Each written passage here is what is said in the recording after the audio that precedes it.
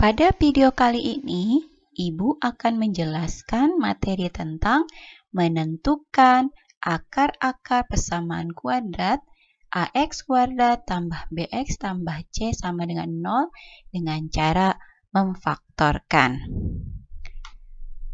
Nah, berikut ini adalah beberapa tipe persamaan kuadrat yang akan kita cari akar-akarnya. Yang pertama, kita akan menentukan akar-akar persamaan kuadrat dengan nilai B-nya itu sama dengan 0. Nah, untuk menentukan akar-akar persamaan kuadrat, kita akan menggunakan konsep pemfaktoran selisih kuadrat ya. Ingat kembali pemfaktoran selisih kuadrat. Yaitu kalau ada A kuadrat kurang B kuadrat, dapat difaktorkan sama dengan A tambah B dikalikan A kurangi B. Perhatikan contoh yang pertama. Tentukan akar-akar dari X kuadrat kurang 9 sama dengan 0. Kalian perhatikan bahwa di sini nilai A-nya sama dengan 1. Nilai B-nya tidak ada atau nilai B-nya sama dengan 0, kemudian C-nya sama dengan negatif 9. Untuk menyelesaikannya, kita menggunakan konsep pemfaktoran selisih kuadrat. Baik, tuliskan terlebih dahulu soalnya ya. Persamaan kuadratnya X kuadrat kurang 9 sama dengan 0. Kemudian kita ubah menjadi X kuadrat kurangi 3 pangkat 2. 9 ini diubah menjadi 3 pangkat 2 sama dengan 0. Kemudian diperoleh hasil pemfaktorannya X tambah 3 dikalikan X kurangi 3 sama dengan 0. Nah, ada kedua kemungkinan untuk menentukan nilai X yang memenuhi persamaan ini ya. Kemungkinan yang pertama yaitu X tambah 3-nya sama dengan 0 atau X kurang 3-nya sama dengan 0. Nah, nilai X-nya yang pertama adalah dari X tambah 3 sama dengan 0, yaitu nilai X memenuhi X sama dengan negatif 3. Atau nilai X yang memenuhi X kurangi 3 sama dengan 0 yaitu X sama dengan 3. Jadi, akar-akar dari persamaan X kuadrat kurang 9 sama dengan 0 adalah X sama dengan negatif 3 atau X sama dengan 3. Agar kalian lebih memahami atau bisa mengecek kembali ya, apakah benar nih nilai X sama dengan negatif 3 atau X sama dengan 3 ini akar dari X kuadrat kurang 9 sama dengan 0, bisa diuji coba dimasukkan ke dalam persamaan. Jika nilainya sama dengan 0, maka benar. Kalau X sama dengan 3 atau X sama dengan negatif 3 ini adalah akar-akar dari X kuadrat kurang 9 sama dengan 0. Selanjutnya contoh nomor 2. Tentukan akar-akar dari persamaan 49 kurangi 4x kuadrat sama dengan 0. Dari bentuk persamaan kuadrat ini jelas bahwa nilai B-nya itu sama dengan 0. Maka penyelesaiannya adalah kita ubah ke dalam bentuk selisih kuadrat. 49 ini menjadi 7 pangkat 2, kemudian kurangi 4x kuadrat berubah menjadi 2x dipangkatkan 2 sama dengan 0. Maka hasil pemfaktorannya adalah 7 tambah 2x dikalikan 7 kurangi 2x sama dengan 0. Kemungkinan yang pertamanya yaitu 7 tambah 2x sama dengan 0 atau 7 kurang 2x sama dengan 0. Baik, kita akan selesaikan satu persatu ya. Kemungkinan yang pertamanya nilai X yang memenuhi 7 tambah 2X sama dengan 0. Berarti, nah jawabannya berarti gini ya, 7 sama dengan negatif 2X. ya. Atau yang keduanya, yang 7 kurang 2X diperoleh menjadi 7 sama dengan 2X. Nih, negatif 2X-nya eh, kita hilangkan. Jadi kan kalau dihilangkan menjadi 0, jadi kan tambah 0 jadi positif. Kemudian 7 sama dengan negatif 2X ini diperoleh nilai X-nya yaitu negatif 7 per 2. Kemudian kalau 7 sama dengan 2X, nilainya X yang menuhinya yaitu 7 per 2. Kemudian pembahasan yang kedua, kita akan menentukan akar-akar persamaan kuadrat dengan nilai C-nya sama dengan 0. Yang pertama, contohnya tentukan akar-akar dari X kuadrat kurang 5X sama dengan 0. Kalian perhatikan di sini, persamaan kuadrat ini nilai C-nya sama dengan 0. Maka cara penyelesaiannya dengan cara memfaktor menguraikannya. Di sini Ibu akan coba dulu menguraikan ya x kuadrat 5x ini ke dalam bentuk perkalian ya. Nah, diperoleh seperti ini. x kali x kurangi 5 kali x sama dengan 0. Kalian tentukan di sini faktor mana yang bisa membagi kedua suku ini. Ya, betul. Faktornya yaitu x. Kemudian buka kurung, X kali X bagi X, hasilnya adalah X. Kurangi 5X dibagi X, hasilnya adalah minus 5. Tutup kurung sama dengan 0. Diperoleh X sama dengan 0 atau X kurang 5 sama dengan 0. Dari sini kita bisa tentukan nilai X-nya atau akar persamaan kuadratnya yang pertama adalah X sama dengan 0 atau dari X kurang 5 sama dengan 0 ini menjadi X sama dengan 5. Jadi akar-akar dari X kuadrat kurang 5X sama dengan 0 adalah X sama dengan 0 atau X sama dengan 5. Contoh yang kedua, Tentukan akar-akar dari 3x kuadrat tambah 9x sama dengan 0. Kita akan menentukan akarnya dengan cara pemfaktorannya. Seperti biasa, Ibu akan uraikan kedua suku dari persamaan kuadrat ini ke dalam bentuk perkalian. Diperoleh seperti ini ya. 3 kali X kali X tambah 9X menjadi 3 kali 3 kali X sama dengan 0. Dari kedua suku ini diperoleh faktor yang bisa membagi keduanya, yaitu berapa? 3x ya. Kemudian yang merah ini berarti 3x, x dibagi 3x hasilnya positif x. 3 kali 3 kali x dibagi 3x hasilnya plus 3 sama dengan 0. Diperoleh 3x sama dengan 0 atau x tambah 3 sama dengan 0. Ya. Akhirnya diperolehlah akar yang memenuhi yang pertama x sama dengan 0 ya. Sini karena kan 0 dibagi 3 tetap 0 ya hasilnya atau x tambah 3 sama dengan 0 nilai x memenuhinya yaitu x sama dengan negatif 3.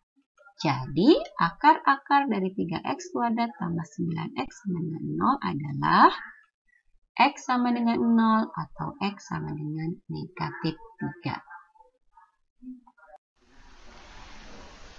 Selanjutnya, kita akan menentukan akar-akar persamaan kuadrat dengan nilai A, B, C-nya lengkap dengan cara pemfaktoran. Yang pertama adalah untuk bentuk AX kuadrat tambah BX tambah C sama dengan 0 dengan nilai A-nya sama dengan 1. Perhatikan contoh nomor 1. Tentukan akar-akar dari X kuadrat kurang 7X tambah 10 sama dengan 0. Nah, cara memfaktorkannya untuk tipe persamaan kuadrat seperti ini, x kuadrat kurang 7x tambah 10 sama dengan 0. Nah, seperti ini e, bentuk pemfaktorannya ya. x titik-titik kalikan x titik-titik. Nah, untuk pengisi yang kosong ini, caranya yaitu tentukan terlebih dahulu dua bilangannya. Jika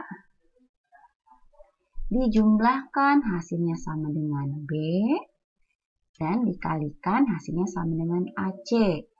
Baik, dijumlahkan hasilnya sama dengan B. Berapakah B di sini? Ya, B-nya yaitu sama dengan negatif 7, betul ya. Kemudian hasil kalinya berapa nih? Dari soal A kali C, berarti di sini kan 1 kali 10 berapa? Ya, 10. Nah, kita tentukan dulu berbagai kemungkinan perkalian dua bilangan yang hasilnya 10. Di sini ya, ini 10. 10 itu bisa perkalian dari negatif plus 1 kali plus 10 atau negatif 1 kali negatif 10 atau plus plus 2 kali plus 5 atau negatif 2 kali negatif 5. Nah, untuk menentukan bilangan mana yang sesuai, kita perhatikan kembali di sini ya. Nih, lihat. Dijumlahkannya hasilnya harus negatif 7. Maka kemungkinan dua bilangannya yang kita ambil yaitu yang negatif 2 dan negatif 5. Karena dijumlahkan negatif 2 tambah negatif 5 hasilnya negatif 7, dikalikan hasilnya menjadi positif 10. Setelah tahu e, dua bilangan tersebut, maka kita isi, masukin ke dalam e, yang kosong ini menjadi X kurangi 2, gitu ya. Kemudian X kurangi 5. Nah, sudah diperoleh nih pemfaktorannya. Kemudian baru bisa kita tentukan nilai X-nya atau akar yang memenuhinya.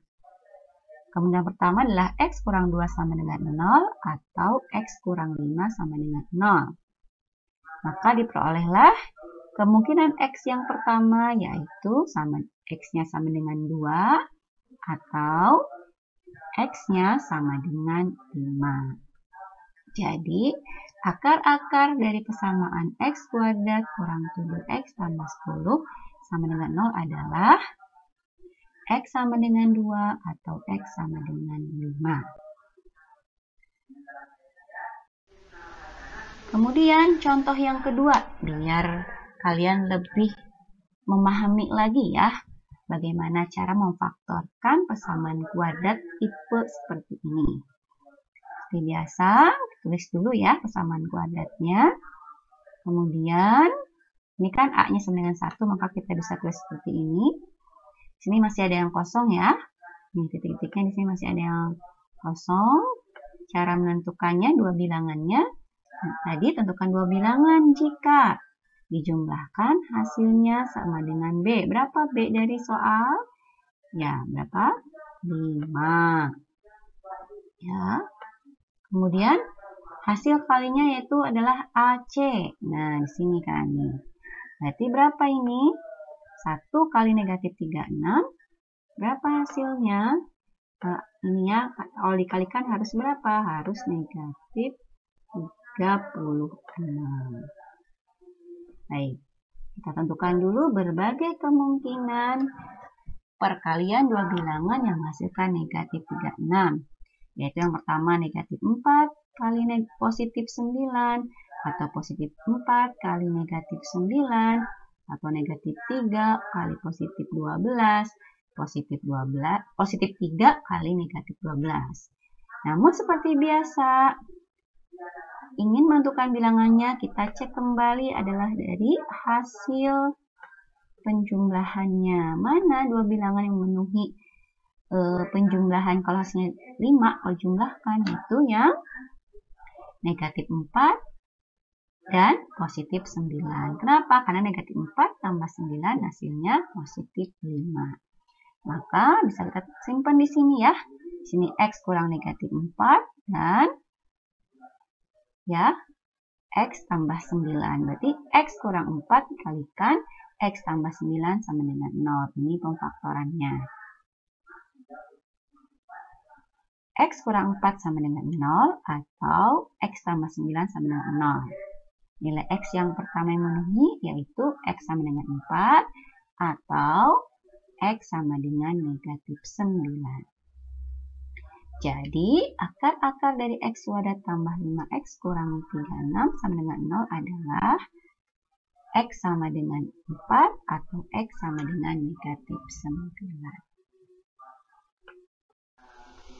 Materi yang terakhir yaitu menentukan akar-akar kesamaan kuadrat dengan nilai A, B, dan C-nya lengkap dengan cara pemfaktoran ya. Untuk bentuk AX kuadrat tambah BX tambah C sama dengan 0 dengan nilai A-nya tidak sama dengan 1. Perhatikan contoh berikut ya. Tentukan akar-akar dari 3x kuadrat kurang 4x kurang 4 sama dengan 0. Kalian perhatikan ini persamaan kuadratnya berbeda dengan persamaan kuadrat sebelumnya. Di sini nilai A-nya itu tidak sama dengan 1, nilai A-nya yaitu 3. Cara penyelesaiannya pertama yang berbeda gitu ya dari e, pembahasan sebelumnya yaitu di sini 3x kuadrat kurang 4x kurang 4. Ditulisnya seperti ini ya. 3x dari ini ya, dari 3x kuadrat nih, 3x titik-titik dikalikan dengan 3x titik-titik dibagi dengan nilai A-nya, yaitu nilai A-nya 3. Dari sini, sama dengan cara sebelumnya, tentukan dua bilangan dulu. Jika dijumlah hasilnya sama dengan nilai B, yaitu berapa nilai B-nya dari soal tersebut? Sama dengan negatif 4. Oke, kemudian jika dikalikan yaitu sama dengan perkalian dari A kali C. Nah ini ya, negatif 3 kali negatif 4 berapa hasilnya?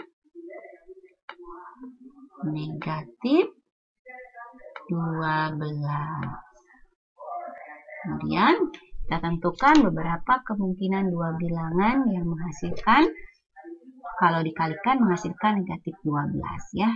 Positif 3 kali negatif 4, negatif 3 kali positif 4, negatif, positif 2 kali negatif 6, negatif 2 kali positif 6.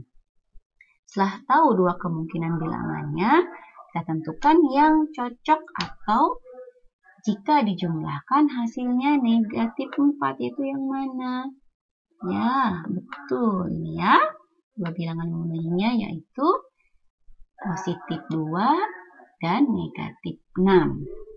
Kemudian setelah dapat dua bilangannya, kita tulis di sini ya. Ini 3x tambah 2 kalikan dengan 3x kurang 6 per 3. Setelah dari situ sudah dapat pemfaktorannya, maka kita tentukan kemungkinan-kemungkinannya. Yang pertama, untuk 3x tambah 2, ini tidak bisa dibagi 3. Jadi kita cukup kemungkinan pertamanya adalah 3x tambah 2 sama dengan 0. Nah, kemungkinan yang keduanya ini e, dibuat dibagi per 3 karena ini 3 dan 6 bisa membagi 3 maka kemungkinan keduanya adalah 3x kurang 6 per 3 sama dengan 0 ya Nah, dari 3x tambah 2 sama dengan 0, maka kita peroleh 3x sama dengan negatif 2. Ya, sehingga diperoleh nilai x memenuhinya yaitu x sama dengan negatif 2 per 3. Baik, sekarang yang kemungkinan keduanya. 3x kurang 6 per 3. Nih, ingat masing-masing dibagi dengan 3 ya. Sehingga nih kita bagi 3 Kemudian ini juga dibagi 6 nya dibagi 3 juga. Sehingga diperolehlah X kurang 2 sama dengan 0. Atau nilai X memenuhinya yaitu X sama dengan 2. Jadi, akar-akar dari 3x kuadrat kurang 4x kurang 4 sama dengan 0 adalah x sama dengan negatif 2 per 3 atau x sama dengan 2.